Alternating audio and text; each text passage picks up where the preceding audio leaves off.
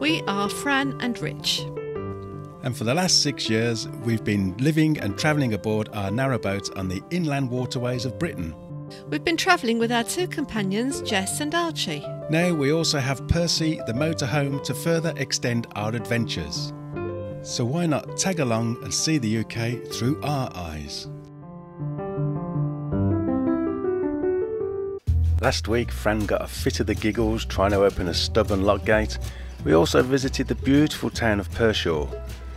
Now we've moved on a couple of miles, found a fabulous mooring spot, and are going to climb a hill and clean out the stove.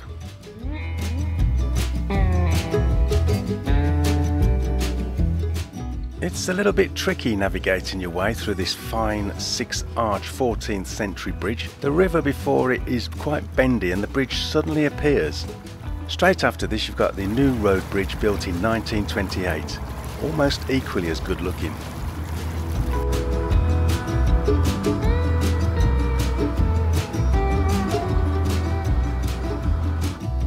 The River Avon just keeps giving and giving. This has been our mooring for the last 24 hours nearly. We arrived yesterday lunchtime and have been all on our own. Another boat joined us just literally overnight and left first thing this morning. But it has been so peaceful. Yesterday we stopped at lunchtime, just got the chairs out and sat reading and spinning. But we've had an early start today. We were awake early because we're going up to do a big walk. But on the far bank, we're full of fishermen, complete with all their equipment and all their very expensive gear, all along the bank. So we're cruising that way later. I've got a feeling there's going to be a little bit of rod ducking and diving. But um, the fishermen all seem really friendly along here. So anyway, it looks like it's a not bad morning. We've got to get off up Bredon Hill.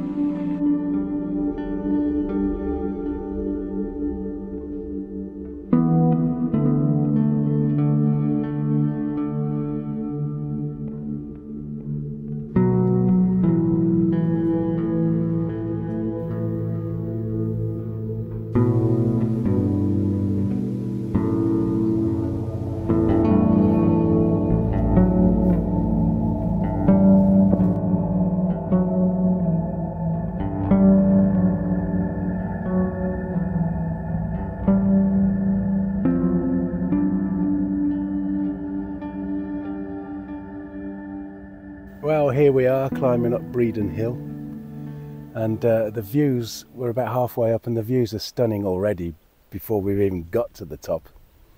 We're keeping our fingers crossed for the weather. The sun's mm, at the moment, but it's, they've promised us rain.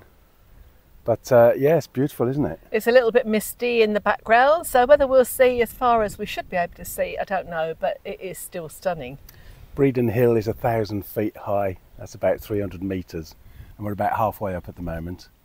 That place behind me is called Woollas Hall, and you know when you've got too much money when you've got a crystal chandelier hanging in your greenhouse. That greenhouse is bigger than our boat. But the um, Hill has got really ancient history, and there's um, evidence of settlements going back to Iron Age, and there's been um, Roman coins found here, hoards of Roman coins. There are apparently earthworks and standing stones, so we're keeping our eyes open. We are. We're imagining we're seeing things. I think we have seen earthworks, but it's uh, it's difficult to know for sure, isn't it? The only hoard we've found is blackberries. Look at those, they are beautiful. I might have a black tongue actually. We've Yeah, eaten loads. We've bought snacks to have at the top, but this is getting us up there, isn't it? It is So, indeed. Right, onwards and upwards. Let's go. Yeah.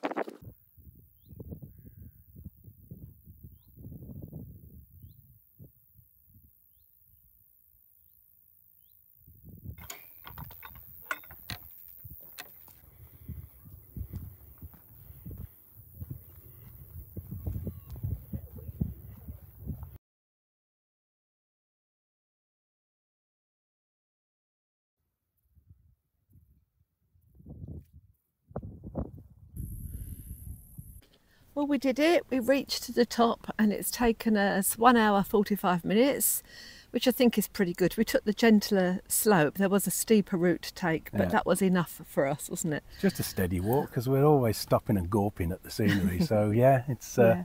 been fab. But the views are amazing, despite the fact that it is a little bit hazy out there and we can't really see the horizon. No. You can see what did that lady describe it as the checkered blanket of all the four counties around Five, us, five counties all Apparently, you can around see us. five counties, so that would be Herefordshire, Worcestershire, Shropshire, Gloucestershire, and something somewhere else. Shire. But um, it is a very, very special place. amazing, absolutely amazing. And there's, it's a shame this folly behind. I don't know when it was built. Um, is now a BT telecommunications room thing with uh, phone masts all the way around it. So how they got planning permission for that, I'll never know. It was built as a folly for one of the churches. Uh, I don't. I think it's called Parsons Folly, but certainly for some of the uh, church owners or church leaders over the years. Yeah. But, um, yeah, it's a very very special place, and it's got a little bit of a sad air about it, hasn't it? As well. Yeah, so maybe that's the the weather atmosphere today. It's a bit melancholic. It might be, it might be, but the poem that was written this was about this was a very sad poem, very of a tearjerker, wasn't it? No.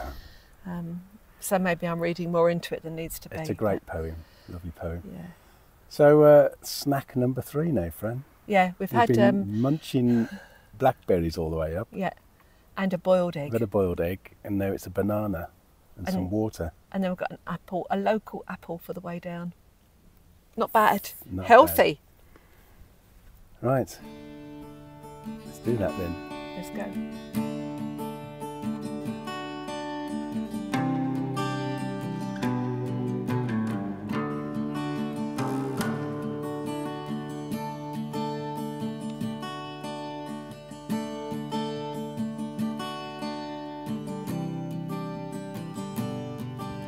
This tower called Parsons Folly was built for John Parsons MP in the 17th century, intended as a summer house to view the surrounding countryside.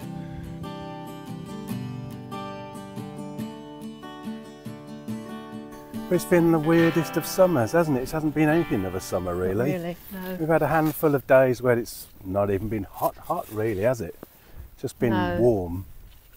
None the of those maximum we've had is 27 degrees, and that was Yeah. for one or two days, but nothing to write home about. None of those nights when you can't sleep and all windows No. are open, is there? Thank goodness. Yeah. But, um, yeah, it has gone really, really quickly. Maybe we're in for Indian summer. Or who knows? we often get that these days. We get late springs and summers stretching out into October, don't we? Now. Yeah.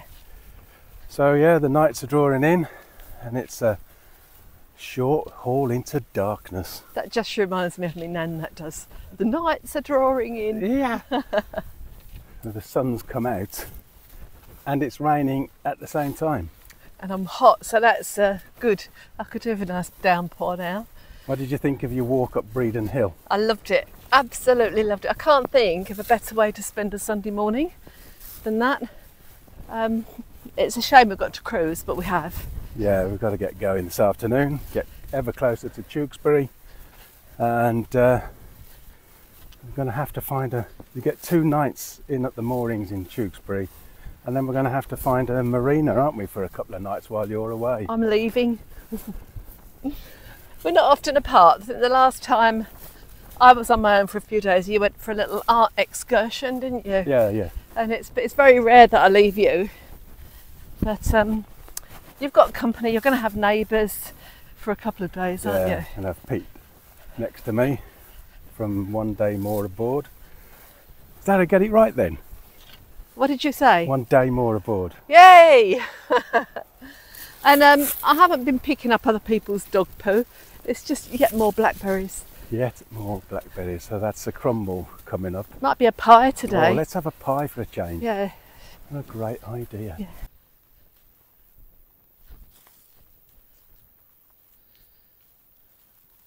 We're just uh, on the way into Great Comberton Village. There's a grape. I was going to say a grape yard, Grape yard. a vineyard. So uh, there's quite a few hundred uh, vines there. I wonder how much you need to make a few bottles of wine, Fran. I don't know. You only need. You don't need many elderberries to make about three or four bottles. Yeah. So, yeah, that's more than we would need anyway. I've never, I've never made wine full stop, so I wouldn't know. So, I've never uh, made it from grapes. So. If there are any wine making connoisseurs out there, let us know how many grapes to make a bottle of wine. We've got enough yet. Nearly. There's never, ever enough of blackberries. And it has been a good year. So is, we've been munching them all day on and off, and you spend the rest of the afternoon picking the seeds out your teeth. And we've got blue tongues, but I'm not showing you. Ow.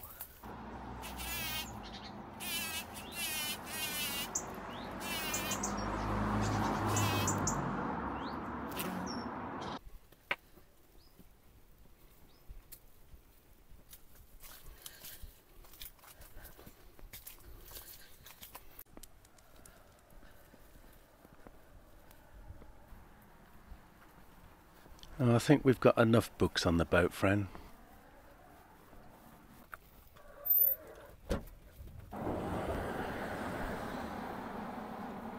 Interesting.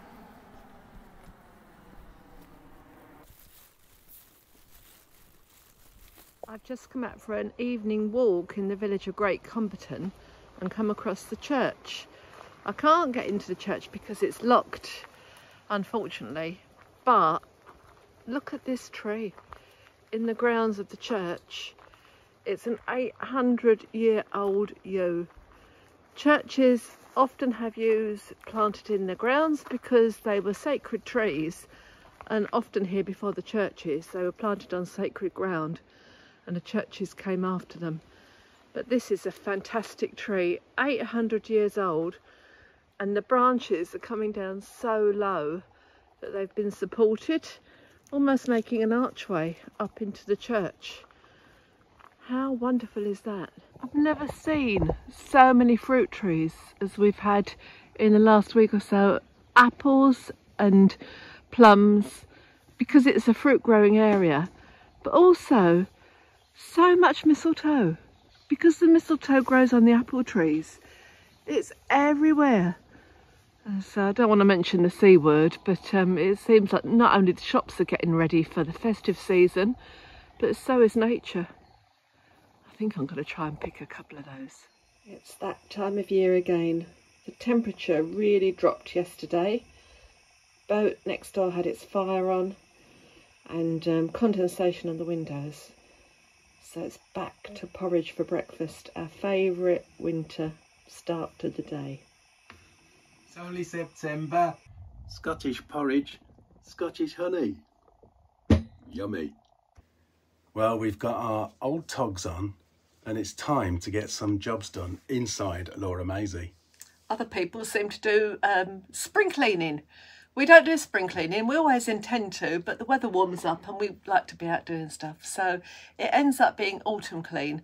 And also, we just like to get the boat ready for autumn and winter, don't we? Other do. people have had their fires alight already. The temperature suddenly dropped last night. Didn't it? The nights are dark. In fact, we're losing, worked out this morning, we're losing 15 minutes of daylight a day at the moment. Yeah. So we want to be really cosy for winter. So yesterday you got the window out, didn't you, uh, next to the dinette and gave that a good brasso in. I'm doing it window by window because it actually takes a long time, and that's cleaning out all the gullies there where the window slots in, um, getting rid of the cobwebs and all the dust and dirt so we've got good drainage, and polishing the metalwork. Um, one window a day. It sounds like a little job, but it was about two hours a polishing, wasn't time, it? yeah. So, yeah, one a day is enough. I got the shower door off and cleaned all the grouting between the tiles and uh, took out all the old silicon from around the shower base. And it was a bit wet down there, wasn't it? So I'm a bit concerned, but um, I'm leaving it to dry for a few days. So uh, it's a cat lick for a shower for the next few days. There's a, a lot of grunting and huffing and There was a puffing going on. I've got to say though, no bad words came out. No. You were very good, but I- your poor old knees are a bit sore this morning. Yeah, spent the day on my knees virtually. But today's a bit of a mucky job, and uh, it's probably the muckiest job we have to do on Laura Maisie. Yeah, we're cleaning out the um, fire completely, checking that the um, fire ropes are good in the door, cleaning all the glass, cleaning the chimney. And every time I do this, we've done it quite frequently, I have to watch a video of which way the fire bricks go in and out and slot on. Otherwise, it's just a nightmare. So, yeah, rubber glove time, I think, 'cause it's a bit grimy. Got the spray paint out because the surface of the fire is a bit uh, rusty from where we've had pans, cooking suppers, etc. Yeah. And uh, spray paint the doors again. You go up on top and brush the chimney. I That's collect what all the debris, and then my job is the inside of the fire. You'll do the fire ropes. I don't do that. And Mm-hmm. check the doors, and then you're painting, aren't you? Yeah. So a couple of hours and we'll be having a cup of coffee and some cake. You'll be lucky. No cake. Bourbon biscuit, maybe. Oh well, second best. Yuck. Oh dear. So I've taken the cowl off and I've attached the brush to the drill. See how this goes. Are you ready down there? She's ready. Oh my goodness.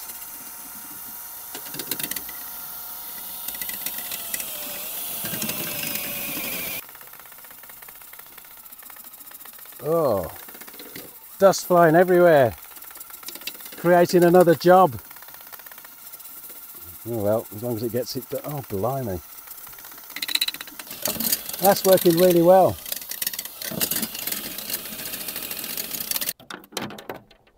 Created another job. So Richard's done his bit upstairs on the roof. I don't know what's come out. Not too much actually. I've cleaned out completely inside it. Oh. Yeah, a fair bit has come out. So I've finished moving this all out. The fire bricks actually look in pretty good condition in there. They're all not cracked, everything's fine. So it's just a case of taking it all out, cleaning it, and putting it all back together again. So this is the um, tray inside the top oven, which we use for cooking quite a lot. We don't like using chemicals to clean things, so I'm going to try the good old baking soda trick on this. Um, and a little bit of elbow grease, so we'll see how shiny I can get that. That's my challenge. Let's have a before and after then, Yeah. shall we?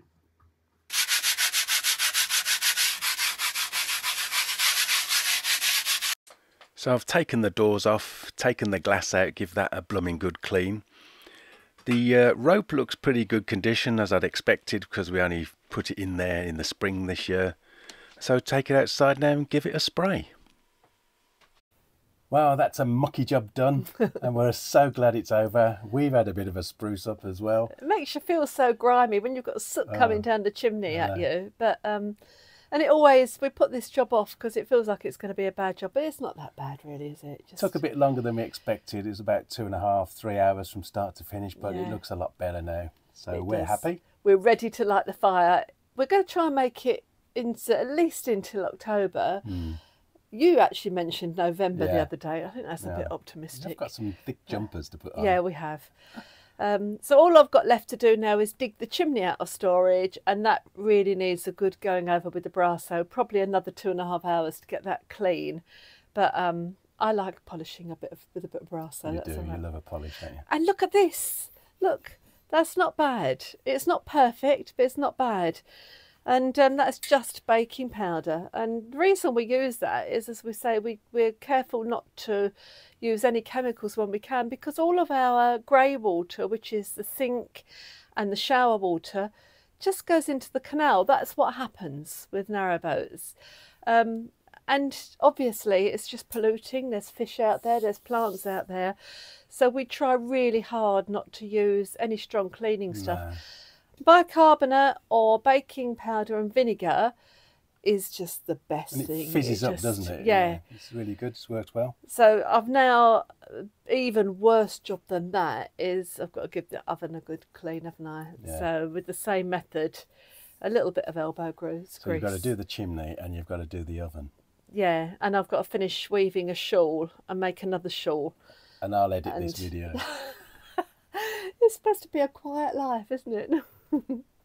So anyway, thanks very much for watching. Thank you. Um, we hope you enjoyed that. Give us a thumbs up. It really does help this channel get seen by other people. It does. Don't forget to subscribe and a big, big thank you to all the patrons and members and everybody that buys our stuff. And that gives via Ko-fi, coffee. We don't know how it's said, but um, special thanks. yeah, it, it all all adds to giving the dogs a treat and us a treat and helping us. So thank you. Ta-ra! Bye.